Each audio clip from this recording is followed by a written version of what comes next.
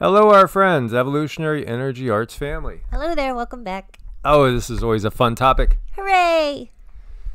Conjuring a reptilian. Look at her. She's conjuring a reptilian. And we see uh, symbols of the tree of life and sacred geometry in the background.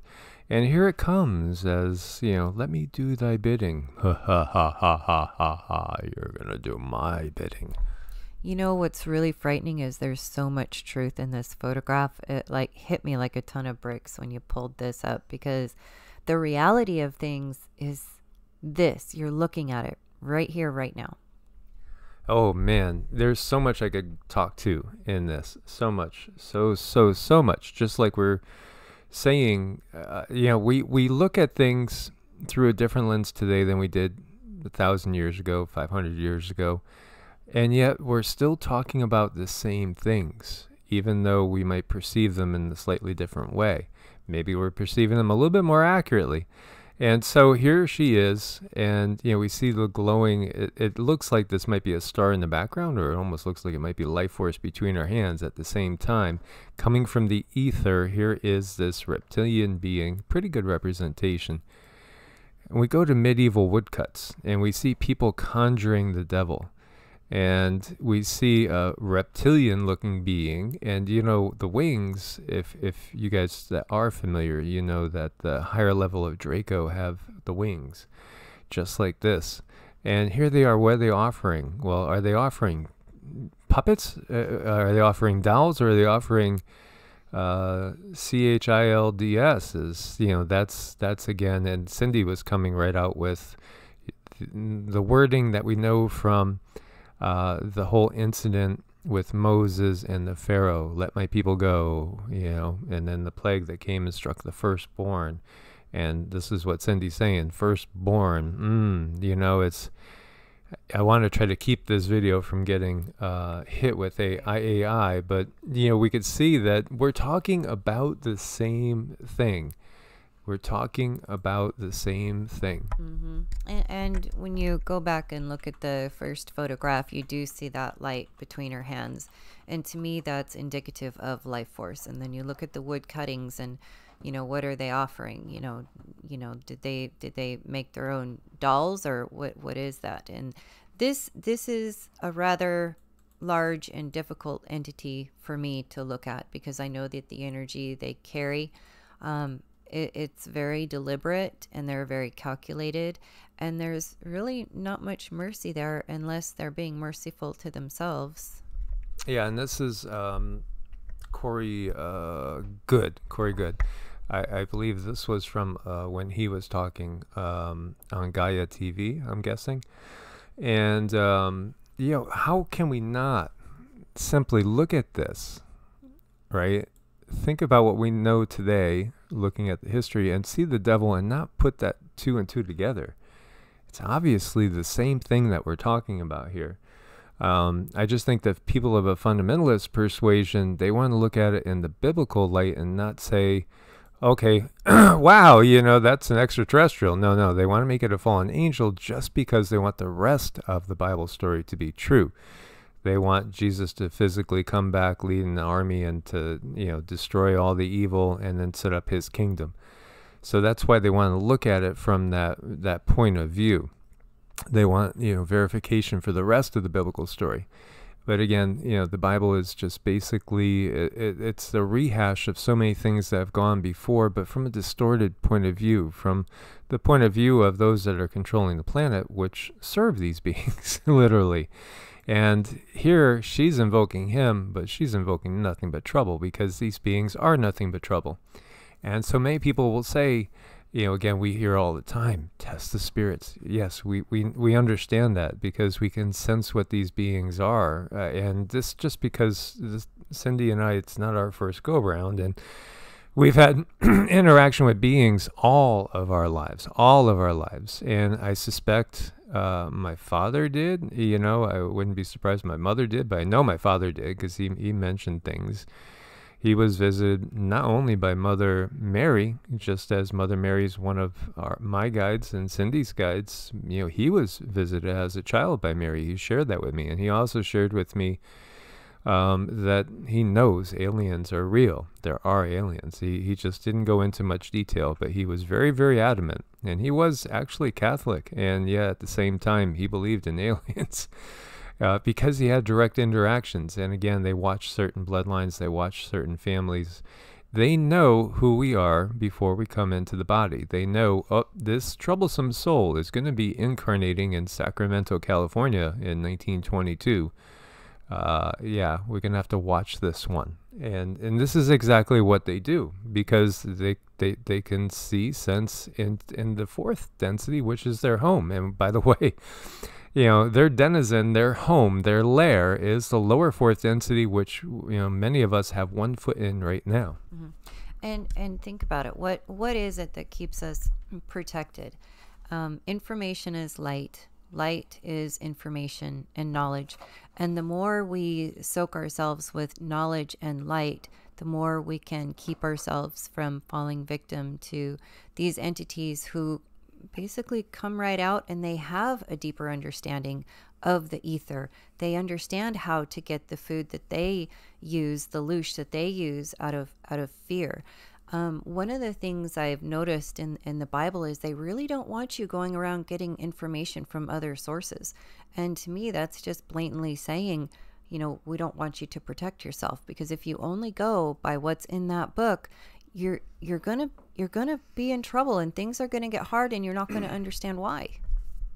Yeah, absolutely. But yet, you know, there there is so much truth in in it too. But yeah, it's it's so distorted that you have to really know what you're looking for. Mm-hmm. And we can, and I'm feeling like a whole series coming on. I'm feeling like I don't want to leave the table today because I mean I feel a whole series of things to to go in deeper on, and to explain. You know, as a kid, I was drawn to all this from a curiosity standpoint and I knew there was a lot of truth in this. There's a lot of truth. Yet, as we're saying, these beings, they're dark. Now, John Dee, as we were talking about, getting the Enochian um, information, the Enochian magic, uh, again, everything is, is so distorted. It, did it come from Enoch? Did it come from really angels? No, it came from these guys it came from these guys. This, uh, you know, he he he brought in something that can be very dangerous as well as powerful. But we want to steer clear of any interactions with these beings. That's true, but that doesn't mean that we want to steer clear of interactions with benevolent beings. And so, if you throw the baby out with the bathwater, and you're and you're not contacting benevolent beings for their help to fight against these beings, uh, then often if you are a light in the darkness, you're going to find yourself attacked. And you're going to find yourself attacked, and I don't care how good a warrior you are, it's most definitely easier to find, fight off a band of bandits if you have a band of friends around you that are also helping you fight. It makes it way easier. And, you know, we have many guides that work with us. And, you know, what would you say the number of guides that are typically working with us is now. Oh my gosh. M- between the two of us, way over 50 now. Yeah. Yeah, so that's a lot of beings helping. And we do get attacked all the time, but you know, we're able to push back and and we're also more connected to our higher selves, which many people are starting to build that connection to. Or and then there are others that have a strong connection to your higher self because your higher self resides on a density that's above these guys and the more we can pull down that energy and that knowledge, the more they won't be able to really get a grip of us. They won't be able to hold on to us. They could irritate us. They could be, you know, they like to think of themselves as so superior, but yet, you know, they can be just a nuisance. Uh, you know, like a couple of flies in a room that you have to get rid of. And boy, that's an interesting story too with the insects, you know, Beelzebub, Lord of the Flies. Yes, there is some truth into that. And we'll go into that in different uh, video. But when we see this and we see this, we're talking about the same thing. We, we really are talking about the same thing. So, are there lizards amongst us? And this is, uh, you know who, giving her a little press, press briefing. And, you know, not, not to pick on her, but then again, when, when you look at takes a vote Um, on Title When you when 42. you look at the power structure on the planet, we know One on abortion following We know these meetings. Who he's talking with that these people, issue. There's been a strong who they're serving, since all this basically. happened. But now They think- what's happening at the pub- because again, you know, often it's it's humans that do the conjuring. Humans may do the conjuring, but who's really being manipulated? So today the president said that a majority of everyone was coming in this summer. Um, this is that just a nervous habit? It could be. Yeah, just nervous habit. Some some were saying here. I just thought it was was was funny um, that there there was somebody that made the comment about she's going to be catching flies pretty soon, and so it's fascinating to see reptilian beings emerged during a government-funded psychedelic study. Yep. Mankind has chronicled reptilian beings all throughout history from every corner of the globe. That's a fact. So, I mean, again, if you're just looking at the BIBLE, you have your head in the sand because you're not seeing the whole picture. Archaeologists unearthed 7,000 year old humanoid lizard statues in Mesopotamia. Vedic scriptures depict the Naga as shapes shifting serpentine breed. Zulu shamans believe the world is controlled by Chitauri, a sinister Saurian force. Ancient Sumerians wrote about a powerful manipulative, group of extraterrestrials called the Anunnaki. Indigenous South American tribes worship the snake god Quetzalcoatl. Now, it, it's interesting too, um, in that they're not all the same. You can't lump them all into the same. There's distinctive beings here, more than one. There again, we, we we tend to do a disservice when we just lump everything into one category. In Asia, ruling emperors descended from dragon bloodlines. hmm Most skeptics dismiss these stories as mere mythology and cultural lore. However, one group of scientists discovered evidence that our ancestors witnessed legitimate lacertid, lacertids. Stranger yet, they concluded the enigmatic species continues to exist in modern times. A five year study on DMT revealed a consistent experience among users. In 1990, groundbreaking research began at the University of New Mexico. Federal government funding had been allocated to investigate DMT, the most powerful psychedelic on planet Earth, also known as the spirit molecule. It's naturally occurring chemical compound that can be found in both plants and animals. Rick Strassman, a highly respected medical doctor, associate professor of psychology, conducted the clinical trials. He administered over 400 injections to 60 diverse tex- test subjects. What was disclosed during the five year project would permanently alter his perception of reality. Voluntary candidates underwent rigorous vetting process. Each received full psychological evaluations to ensure they were sound mind and no underlying mental illness. Upon completion of the initial screenings, physicians performed detailed physical examinations. Laboratory tests and EKGs verified who possessed optimal physical health, and initially, a large number of prospects were whittled down to a final group, carefully selected examinees. Age, gender, ethnicity, occupation, religious beliefs varied widely. To remove external influences and maintain environmental control, participants did not have any contact or communication with one another. Sessions took place in a clinical hospital session uh, setting. Medical staff injected it, I, you know, during uh, via IV, and doses varied with each session. Researchers wanted the unsuspecting recipients to avoid developing any preconceived expectations. Nurses closely monitored the patient's vitals, including temperature, heart rate, and blood pressure.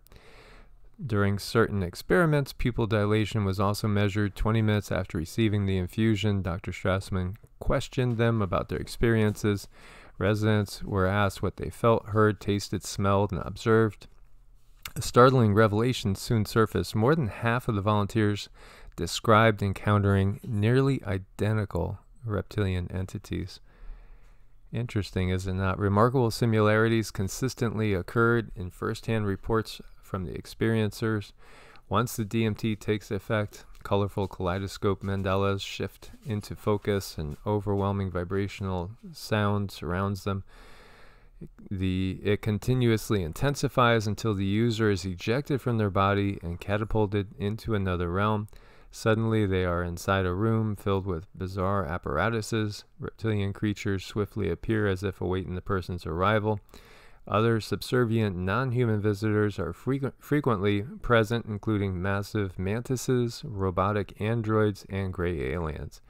The reptoids converse telepathically while executing various tests. Psychonauts are crippled by a sensation of profound dread. Here are some of the statements gathered from the program's investigative team regarding observers' exposure to reptilians. Instill intense feelings of fear, cold and indifferent, extremely intelligent, quick witted, focus on technical work, have an agenda, large eyes, tough skin, web feet, sharp claws. For half a decade, data derived from the experiment was collected. Scientists gathered hundreds of testimonies which indicate a clear connection between DMT trips and ectothermic assailants. Consumers from different locations, backgrounds, and spiritual paths all shared eerily parallel testimonies. Analyzers hypothesized that what could cause this phenomenon what could cause the phenomenon. We're, we're left with more questions than answers. Some theorize the mind altering substance opens a portal to another dimension. Others argue it activates previously dormant regions of the brain, allowing individuals to transcend former limitations. Physicists currently estimate humans can only see a minuscule 0.005% of the spectrum of visible light. Diverse life forms may exist just beyond the confinement of our five senses. Perhaps DMT removes the metaphoric blinders and reveals what has been there all along. Absolutely. Absolutely. Mm-hmm. And I mean, all of these things are so interesting because they were done in a scientific box where they were measuring information at only the, the 3D level. But you can see here clearly humans can make it past this 3D understanding and see into other dimensions. And as we evolve and as we heal, we too are going to be able to see and perceive in these other dimensions. And I think moving forward with the way things are, it is better if you can at least develop some uh, per- perception of things. But you always want to be like secure and healed before you really start going in to develop these these abilities because you, you need a solid foundation wherever you're at. So that's real important. I want to stress that. Absolutely, and it's it's just so fascinating. And and there's one thing that you know we keep talking about. I keep bringing up, and part of it is is also um, just simply because of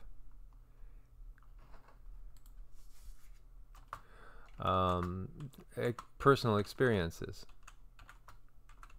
and many people have personal experiences and then you might talk to somebody about it and then they're not going to believe you and i feel that's one of the things that's separating us now.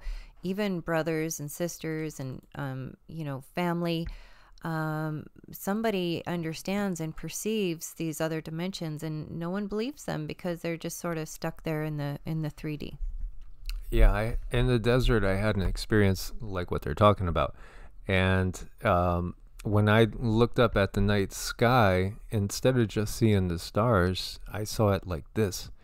And it hit me, it, it looked exactly like this. It, to the right, really, is what I, I saw. Uh, that's more the shading. It, every single star was connected.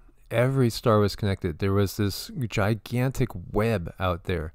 And it just made me uh, laugh kind of with joy and, and at the same time feel like relief and the feeling that you know this is that everything is okay. It's all part of one big, huge experience that we we don't really have to fear. And it was a sense of connectedness that I felt. I didn't sense any reptilians or anything like that. I have in other times, and in you know that same location I had previously, but but not on you know not having that type of experience at that time for me, it was all absolutely just totally positive, and I just saw the connectivity of everything behind this illusion of separateness. Mm-hmm. I know, and that's that's the one thing that we are working on these days is um, taking that illusion and understanding it for just that. It is an illusion, albeit it's a very important one because it does mold your soul. Uh, it does change you. And these energies in our body that experience some of these things on the outside of us can affect our, our 3D energy body or our, our energy body. So that's why we want to always be healing, always be working on ourselves to keep ourselves grounded and centered so that those blocks or those traumas cannot be manipulated by entities in different other dimensions.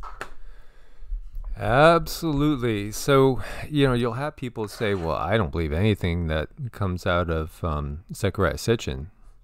He's a 33rd degree Mason. Well, just look at every other corner of the globe. Here you see bizarre st- soapstone carvings in Sierra, Leone, Sierra Leone, West Africa. Legends from this region refer to a sinister draconian force that controls the planet. That certainly looks a little reptilian, huh? Mm-hmm.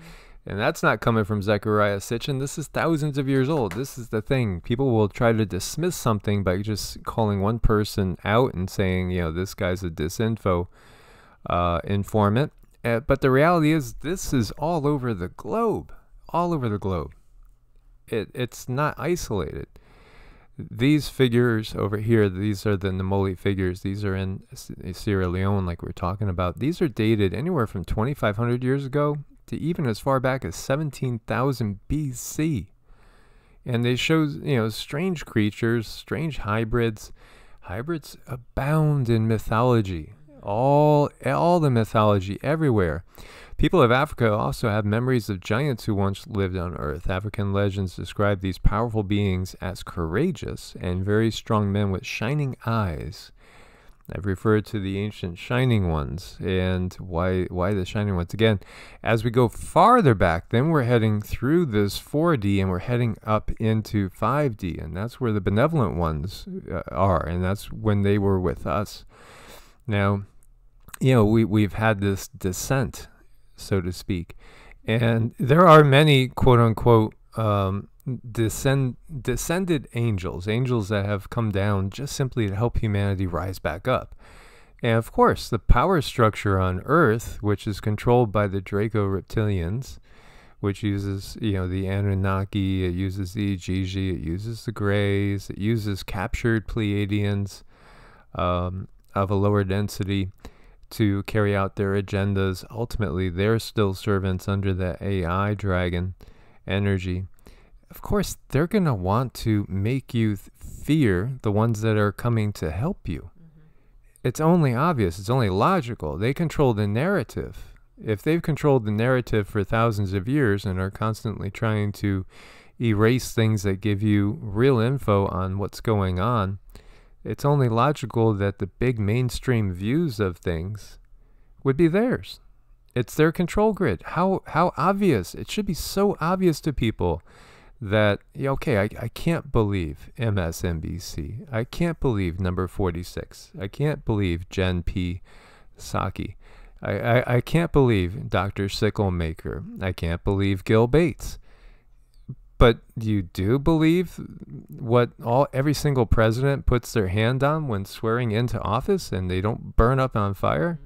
That's their version. That's their version of the story. Same thing when we when we look to um, the Quran. It's it's again another version of their story, and and they are always manipulating. Always, this is what they do. Now, what's fascinating of this too is that this when they found this, they found a small metal ball inside a hollow space, a metal sphere a metal spirit at a time when nobody should have been able to produce metal like that. It's about 4,000 years old. This just shows you that things are not as they look. As we see all these statues of different beings, they're just trying to express what they saw. You know, and what they saw would have made our jaws drop. But this is when, when Cindy goes back and she looks at, say, you know, the Atlantean civilization, there's all sorts of beings walking the planet. It, it's more like a Star Wars situation when you walk into the cantina in Star Wars. Mm, yeah, so I mean, it, it's something that you might see almost on a daily basis. These different entities um, working together, and this this is what we see on the stones. This is what we see carved in stones. Are these people bringing forth their understanding and things that they see on a regular on a regular basis. Yeah, and you know, here we see subterranean reptilians killed 15 coal miners. Declassified document reveals shocking intelligence. Well, if you listen to the Cherokee, and I know uh, Raven, who uh, watches almost every video that we put out, Raven's uh, of Cherokee descent, and he's over in North Carolina.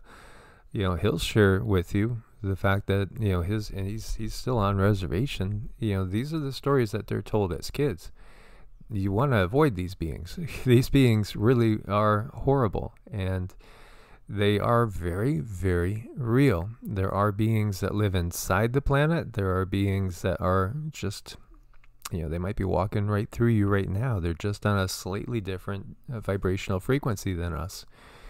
And so, you know, this was a declassified document. In 2008, an intriguing file was declassified by British Ministry of Defense titled Unidentified Flying Objects Correspondent Correspondence. The report contains detailed information regarding ufology. Buried within the 318 uh, page document is a lengthy chapter labeled Mystery of Iniquity and expose the reality of the serpent race and the subterranean origins of UFOs.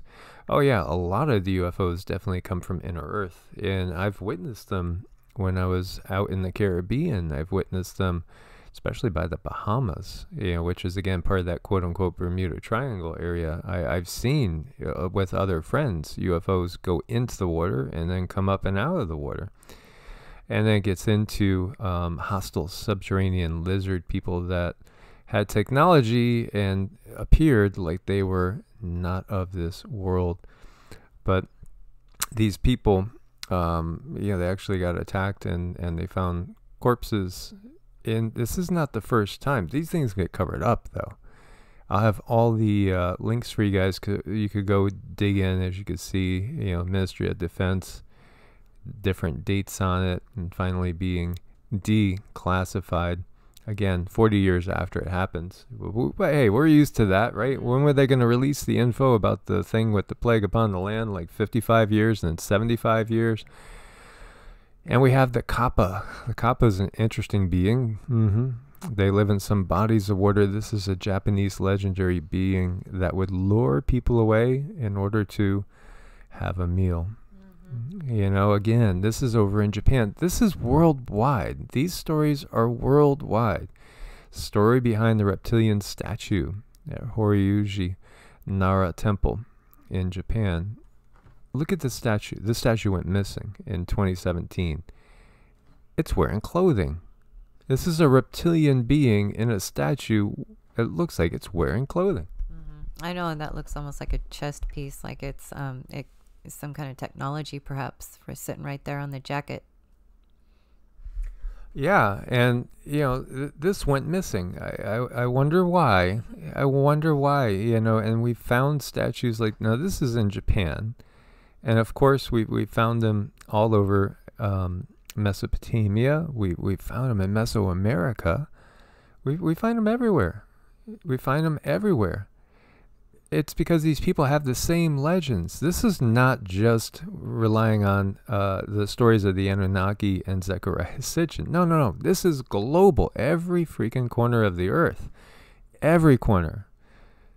As we see, you know, all these. Now, this is uh, Father Crespi's collection.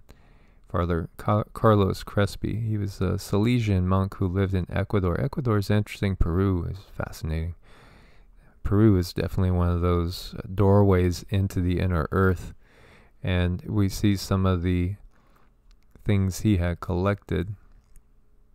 Interesting stuff he found, and there's again, you know, some of these interesting beings that we see uh, over in Sumeria, the identical beings. Do you think that's coincidence? How about the Ubaid lizardman figure, figurines with little baby Lizzies? Little baby reptilians. Adorable. Sorta. this is everywhere we look, and these these fall from 5500 to 4000 BC. Uh huh. Oh, it, it's nothing. It's all just uh, the ranting and ravings of of Zecharia Sitchin. You know, it's just all a conspiracy. I tell you. uh, it's conspiracy. No, this is obvious. This is a reality, and it's just the fact that people, a lot of people can't can't handle the truth. Can you handle the truth? Well, the truth is we're not alone, and you know not every being that's that's around us is benevolent. You know, it, it, it, it's true. There's so many people who absolutely cannot face that there could be something other than what they grew up learning, that there might be something other than that going on. Um, I, I've actually heard of people saying that, you know, you might be right, but it's too much effort for me to go back and relearn everything. And personally, I would rather stand on the solid truth of understanding and live my life um, with with these knowings that's that's just me but some people really they just can't face it uh, they're not ready and that happens These are 7,000 years old. 7,000 years old. These are very ancient. And again, you know, it's all part of, it's all right there. This is the reality. You know, David Icke, uh, he was way ahead of his time. And more and more people are catching on uh, as to the reality of what's going on. And, you know, who, who really does our government serve? who really does our government serve? Well, perhaps they've